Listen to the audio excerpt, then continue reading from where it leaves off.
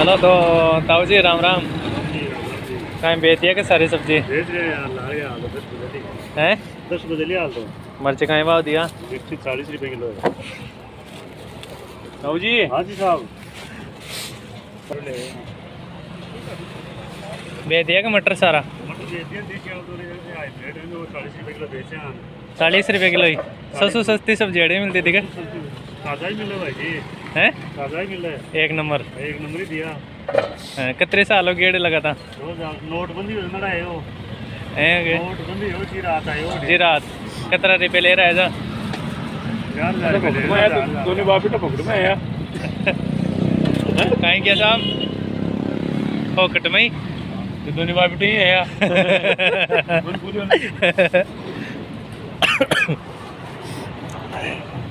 ये लो भैया, सारी सब्ज़ी बिक गई है।